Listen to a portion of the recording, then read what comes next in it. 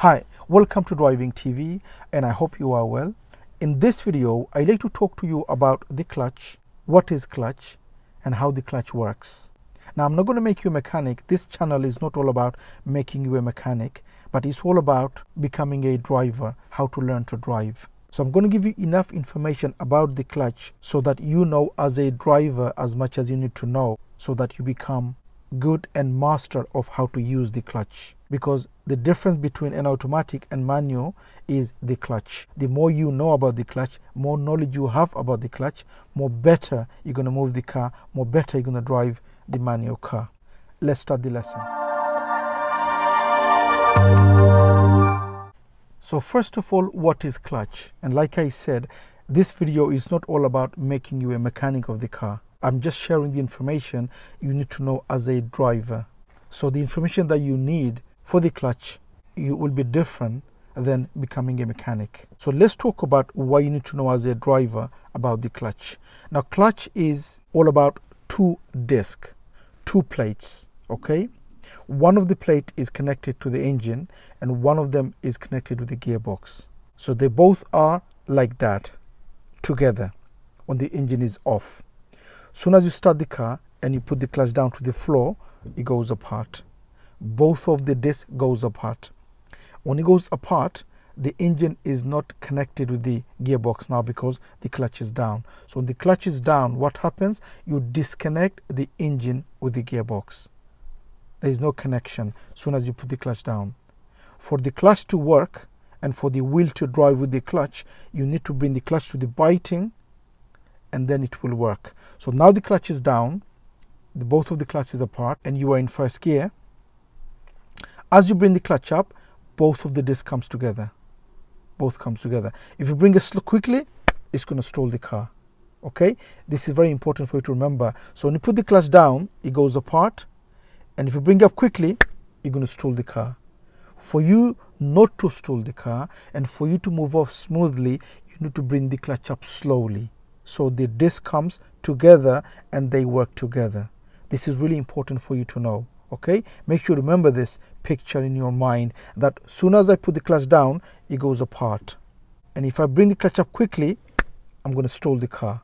So what do you have to do? You put the clutch down you go to first gear and the both of the disc is apart now okay? So clutch is down both of the disc apart okay? One is connected to the engine one is connected to the gearbox. For both of them to work for me to move the car and drive the car they both need to work together.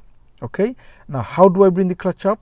Slowly. So what happens? They both comes together. Okay? You bring up you bring up and then you bring up to the where to the biting point.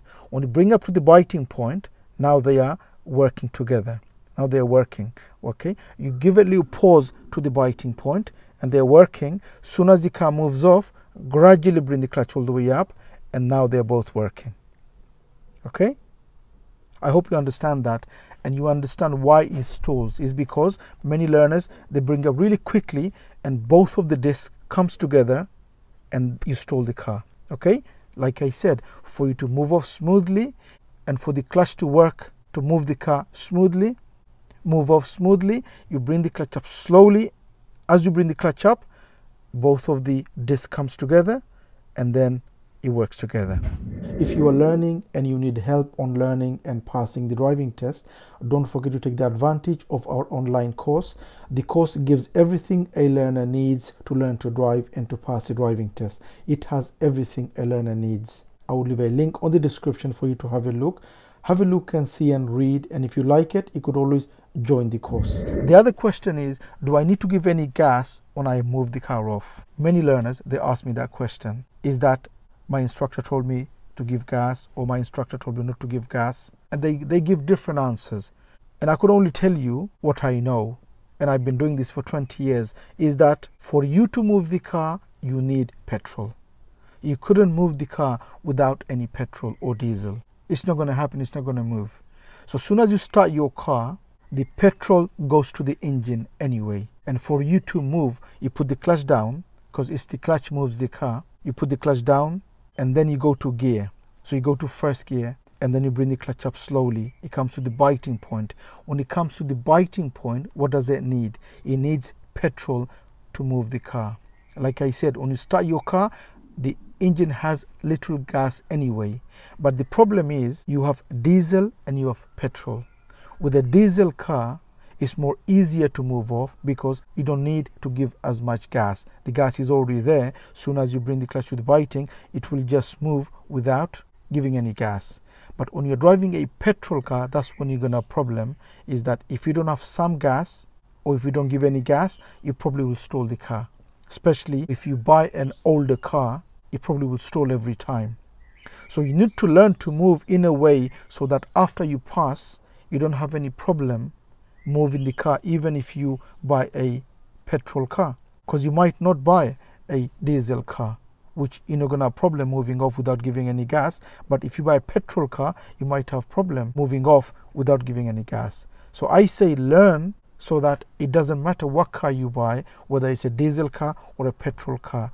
Learn so that you put the clutch down you go to first gear and you give enough gas. How much flat road you give 1500 rev and uphill you give 2000 rev there are many videos on clutch on my channel I will leave the links of those videos on the description for you to have a look if you haven't seen it already. But yes, going back to this video, so you give enough gas. If it's flat, you give 1500. If it's uphill, you give 2000. And then what do you do? You bring the clutch up slowly to the biting. Make sure the gas is there according to is it flat or up. And you bring up to the biting. Like I said, the place comes together to the biting and hold it to the bite and it's working. When the car moves off fully, bring the clutch up all the way, give a little bit more gas, change gear and carry on going. So I hope I've answered the question, do I need to give any gas when I'm moving the car off? I hope you understand that. If you're learning in a manual car, this is the difference between an automatic and manual. In a manual car, you must understand how the clutch works. In the beginning, many learners, they have problem with the clutch is because they don't understand the clutch in the beginning. So they have many lessons until they do, and then they eventually get to know the clutch and they learn the clutch and they master the clutch. But I say the more you know about the clutch, more knowledge you have about the clutch, it becomes easier for you to learn. It becomes easier for you to master the clutch. Why? Because you have the knowledge, you know how it works. And what I've seen with my learners, soon as I explain to them about the two plates, which makes the clutch, and as you bring the clutch up you bring up slowly. If you bring up quickly it will stall. Soon as i explain that to them what i noticed they have a picture in their mind about the clutch with the plates. And as they bring the clutch up it plays in their mind or oh, there's the plates i want to make sure i don't go too quickly. And it works. It helps them to master the clutch so i hope this information is enough for you to understand the clutch and hopefully the knowledge will help you to master the clutch. Like I said, many learners, they have many lessons on clutch until they master the clutch. I hope it helps. If it does, please do give a thumbs up and please do make a comment what you think of the video and if you're new to the channel don't forget to subscribe so don't miss any of my future videos and hope to see you again on the next video bye for now